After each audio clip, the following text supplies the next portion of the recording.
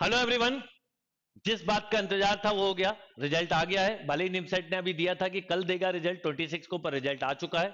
और आप लोग अपना आप रिज़ल्ट चेक कर सकते हैं। कैसे चेक करना है और रिज़ल्ट का फॉर्मेट क्या मैं बता दूँ, क्योंकि आप में से कई लोग रिज़ल्ट चेक नहीं कर पा रहे हैं, क्योंकि उसके लिए आपको करना क्या वो बताता हूँ। सबसे पहला काम आपको ऑफिशियल वेबसाइट पर जाना निमसेट डॉट इन पर।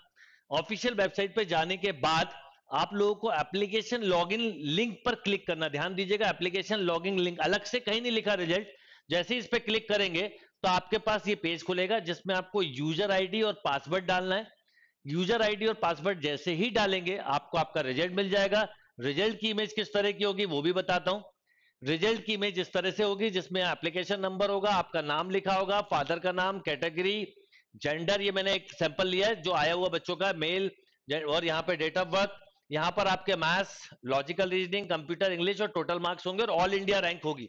अभी कैटेगरी रैंक नहीं दी, अक्सर देते थे, इस बार नहीं दी बट मे बी कि कैटेगरी रैंक आपको दे और नहीं देंगे तो भी ऑल इंडिया रैंक में कैटेगरी रैंक को सेपरेट किया जाता है, वो हमें पता चल जाएगा, आप लोग उसके अकॉर्डिंग अपनी कैटेगरी के अकॉर्डिंग अप्लाई कर पाएँगे। तो सारी चीज़ें आपको मिल जाएँगी, सबसे पहले आप रिज़ल्ट चेक करिए और अपना रिज़ल्ट को आप मुझे तुरंत शेयर करिए।